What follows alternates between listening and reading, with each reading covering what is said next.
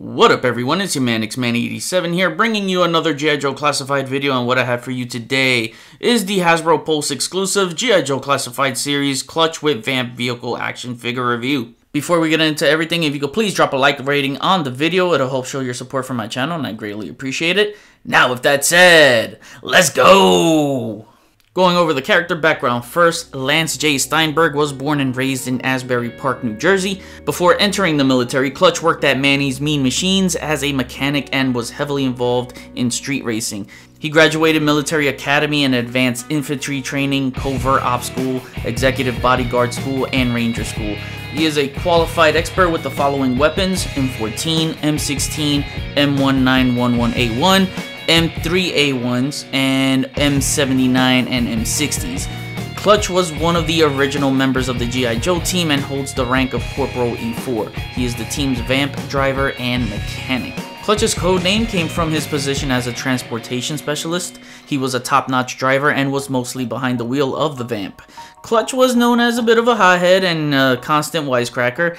He was also kind of a womanizer. He was often seen hitting on women, a practice that sometimes put him at odds with Scarlett and the other female Joes. At one point during training, he even nominates CoverGirl and Scarlett to practice mud wrestling. Even though he is portrayed as a jerk, he is a good soldier with a really good heart who has saved the lives of many both on and off duty. Clutch's head sculpt is looking really good here. Now, normally this character has a 5 o'clock shadow, but they gave him a full beard, which is something he sported in the Sunbow cartoon, so they took that route. But overall, you know, he still looks good. I don't mind the full beard. And his hair sculpt came out really nice. Has that kind of comic-like stringy hairstyle. And it looks good. I like it. For the body buck, he's on the Outback body, so you already know what to expect in terms of articulation if you already own that figure. Uh, but the details on him are really good. He has a new layered vest, as you can see. Is a nice sculpt. Uh, he's got the holster right there for his handgun, which we'll take a look at accessories shortly. Just want to cover the details on the figures first. He's got the American flag right there on the sleeve. That looks pretty cool. And because he's on the Outback body, unfortunately, just like the Outback figure, the pins don't match the skin tone all that well. I mean, it was worse on the Outback figure. Here is a little bit better. It's it's not too bad, but I still notice it. And then uh, he's got a little pinup tattoo, and that's nice. You know, he does love the ladies, so that makes sense that he would get a pinup tattoo. And on the left arm, he has these uh, racing flags, and you see like a tire with some flames around it. So yeah, these tattoos definitely speak to his personality. And he's got a thigh strap with the toolkit, because you know he's a mechanic, so he's got to have a toolkit on him at all times painted details on the thighs, the knee pads, and his boots. So, yeah, it's a good looking figure. And for accessories, he's got a cool looking handgun. He does have a port right there so you could plug in effects. And I do like the handle on here too. It looks good. Painted in brown. Nice. I like it. And like I pointed out before, you could store the handgun into his holster. Then he's got a monkey wrench and again, nice painted details on there. And you can add to his toolkit so you can just put it right there in the slot and yeah there you go. Looks really good and complete that way also included is this shotgun and you notice I put the guns on his left hand because he is a lefty. He's got the vertical hinge that goes up and down. The other one is just a traditional horizontal hinge and yeah this is a good looking shotgun. Unfortunately no storage spot for this. It does come with two helmets so this is the first one and unfortunately it's a little wobbly. It does shift around a lot even though it fits because if I try to remove it without putting pressure it still stays in place. It just shifts around a lot so that's a problem there. I thought this was the same helmet that came with Grunt and as you can see they're different. Still a nice looking helmet but my favorite one is this dragonfly themed helmet. As you can see the shark tooth or shark teeth I should say painted on the helmet. That looks so good man.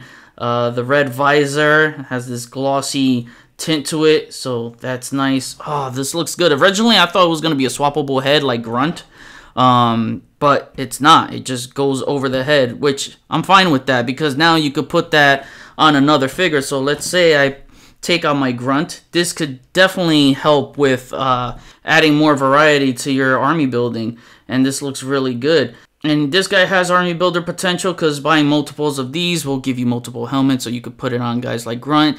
Create your own grounds crew for your Vamp, create your own air crew for your Dragonfly, modify it however you want. And just for fun, I popped on the alternate helmet that came with Grunt on here and I gotta say, it looks really nice. So this is something I'm digging and uh, yeah, I just love adding more variety to my G.I. Joe army building. Continuing on with accessories, but this time it's the accessories for the vamp and you know gonna go over this so then we can take a look at the vamp with everything on it. We get the shovel and it looks really good and you can store it on the vamp. It goes right here into this groove and you can well let me put it the other way face down. And I want to get that handle right there at the top point it down and it does clip on nicely then you get two jerry cans and it's got some nice decals on it. It says danger and it's labeled one and two right there as you see. It's really nice sculpt. It's got a handle to it as well and it goes on to this rack right here. Then it comes with this red axe that you can store onto this rack. It's got two slots right there so you could just slide it down for storage. Then you get this tiny fire extinguisher, which I think is pretty cool. And there is this clip right there. You can just store it in there and just make sure it has a nice snapping sound. And there you go. Then lastly you get this twin mount for the machine guns that pretty much creates a turret for the vamp. And this looks really good. However i do have a gripe with the ammo ribbon because it attaches to the ammo cache. And you see there's this shelf right here that you can rest it on. And it just it's always lopsided. It doesn't stay straight. It should stay straight but even if I push it against uh, this edge right here, oh man, it just, yeah, it's always going to look lopsided and that's just, it drives me nuts. it really does. But the machine guns are removable, so if you want a G.I. Joe character to hold it, you know, you can do that. There's this peg right here, and you just plug this onto it, and then from there, it swivels and you have this hinge where it moves just about that far down. It just moves straight and then it only moves about that far up. But this is what I'm saying. It's always going to look lopsided with these ammo caches and that just, oh, it's an eyesore. Now that we have all the accessories stored onto the Vamp vehicle, this thing just looks absolutely incredible, man. I love the way this looks. And I remember at San Diego Comic Con, one of the Joe team members said that uh, they figured out a way to bring these low tier vehicles into the line. And man, I just feel like low tier is an understatement, almost an insult because now I know low tier they meant by the price, right? So this is a hundred dollars, but no way, shape, or form is this low tier in quality because this thing is just as good as the HasLab HISS Tank. So I know by low tier they meant price. That's just, you know, not HasLab price. But when I tell you this thing is just as good in quality as the HISS Tank, I, I mean it because this thing has some weight to it. It does not feel hollow whatsoever. It's amazing. The sculpt all around is completed. They're, they didn't miss a beat here. I love the army green color they chose here. You get lots of decals. So if I take out my measuring tape out here, it measures about 13 inches across, I want to say, and about, well, with the turret, I want to say about 7 8 inches. So let's just go over the sculpt and the details first, because I want to go over that. Then we'll go over the play features, because there's just lots to cover with this. As you can see, the decals like G.I. Joe painted right there, the G.I. Joe logo. Uh, you get some directions right there. Uh, oh, man, this is so nice. United States, G.I. Joe logo. You get some uh, warning signs right there, like the caution, and the jerry cans just fell off. These two pieces right here are removable, but I wouldn't recommend displaying without it because then you get these weird holes. I just want to point that out. And more great details on the front. You can see the grills right here. You can see the D-rings right there. That's pretty cool. They move. I wish this chain wasn't sculpted. I wish it was a real chain link. But you get the caution decal right there. Uh, the fog lights have this nice translucent color. They are removable. So uh, if you wish to remove them, if you don't want that look, uh, you can remove it and it's also on the top right there at the windshield. So here's a look at the fog lights on top of the windshield. I really like that translucent blue plastic. It looks so good. And uh, i don't know if you want to count this as an accessory but it's a handlebar so you know you can have one of the joes gripping it with their hands. Um, you got the steps right there uh, some numbers this looks so cool Med kit right there okay uh, that is another cool detail. On the other side is toolkit. And the directions came out pretty clear. I don't know how it's coming off camera, but I'll read it just in case it's not focusing right. But it says, please keep hands and feet in the vehicle at all times. Vehicles should only be operated by a trained professional. G.I. Joe is not responsible for any injury received while operating this vehicle. That's pretty funny. To unlatch, pull on release lever and fold backward slowly to avoid finger trap. I love little details like that. Uh, machine guns are numbered as well. See, this is what I'm talking about, man.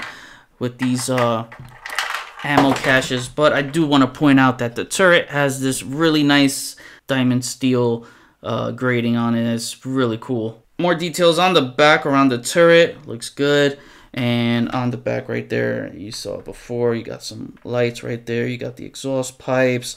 Right where the fire extinguisher is you can see more details on it. Yeah they went all out with the sculpt here. And as you can see more insane amount of details inside the gauge you got the radars, the radio signals, all that. But yeah, man, insane amount of details with all those buttons. And you can't probably tell because it's hard to tell. But inside, yeah, my camera isn't focusing right on it, so I took a picture for you guys so you can see the gas pedal has the G.I. Joe logo on it next to the brake pedal. So that's pretty freaking cool. I like that touch. Then here are the seats in a beige color. No cup holder though, man. I'm sad about that. And as you can see, the bottom is completely sculpted. So like I said, it's super strong and sturdy. Oh, I forgot to show you this. That's the lid for the gas tank. So that's pretty cool. You can see the suspensions right there, right above the tire. So that looks good. And one of my favorite visuals about the Vamp is look at the mirrors. They are reflective. How cool is that, man? That right there, I did not expect this vehicle to have reflective mirrors. That is freaking awesome. And now let's go on to the play features, which is what makes this vehicle so much fun. And the most important thing for me in any vehicle is rolling rubberized tires. And yes, these tires are not plastic. They are indeed rubber, as you can see my fingers squeezing the tire. So yeah, definitely don't poke a hole in these, otherwise you're gonna have a real flat. and that's not it for the tires. It does have a spring action, so you can push the vehicle down and you can see it spring up and down. Man, that's just freaking awesome. I love that. Another play feature I like is that you can open up the hood and exposes the engine right there. That looks nice. And then you got this tow winch right here. You see this knob, you can uh, roll it and it'll unravel this rope and this just looks so good so hook it onto whatever you want. Also the windshield folds over if you want to display it that way you could just put it back in place. Another cool play feature the steering wheel is movable and the gear shift moves back and forth. Not included but you could put one of the blast effects on the machine guns and on the back here there are ports on the exhaust so uh, I tried putting those uh, smoke effects on here to see if it'll fit and uh, kind of works, but I don't know, nah, it doesn't look right. However, you see this tow hitch right here? Yeah, I think us Joe fans know what this means.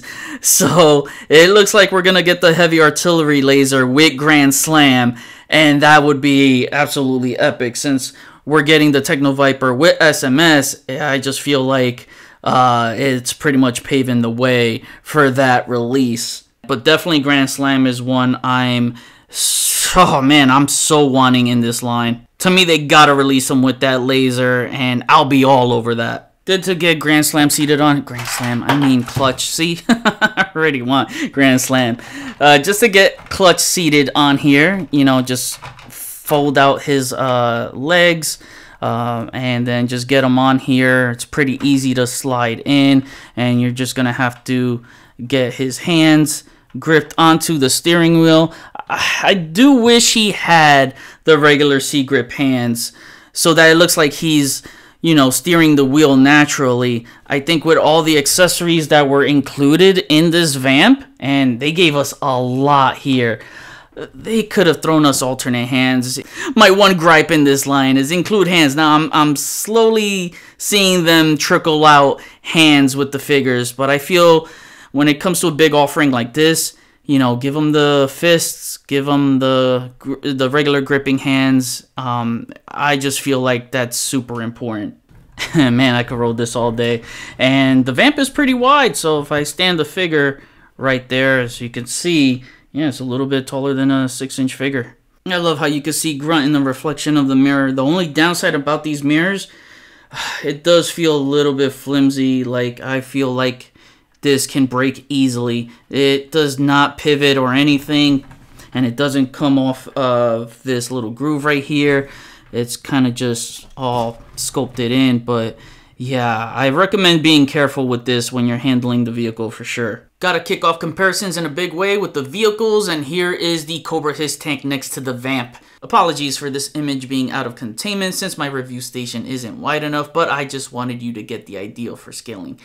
Here's the Vamp next to the Ram Cycle, making it the biggest G.I. Joe vehicle we have at the moment. For some figure comparisons, here he is next to his best friend Rock and Roll. In many of his missions, he fights alongside Rock and Roll. Even when the two are no longer on the active Joe roster, they still are seen together, sharing a love of muscle cars and hanging out at the beach, checking out the ladies. Lastly, here he is next to some of the OG Joes from the initial 1982 launch of the line Rock and Roll, Stalker, Grunt, Hawk, Breaker, and Snake Eyes. Scarlett is not pictured here because I sold her already as I want the new retro release, but we just need Hasbro to make Flash, Zap, Grand Slam, Short Fuse, and Steeler to complete this OG launch lineup. And now to wrap things up, my final rating is a 9.75 out of 10. I could have squeezed my rating to a perfect 10, but there are some things that prevented me from doing that, such as not having alt hands for clutch is something I feel that should have been included for the $100 price point. The biggest issue for me was the ammo ribbon pulling the ammo cache out of place, and that does affect part of the presentation. But with those negatives out of the way, the rest is all positive. The clutch figure is great and the layered vest fits tight, which doesn't hinder any movement at all, so it feels like it's not even there when posing it. He's got spectacular paint apps. I love how they give tattoos to fit the personalities of the Joe characters.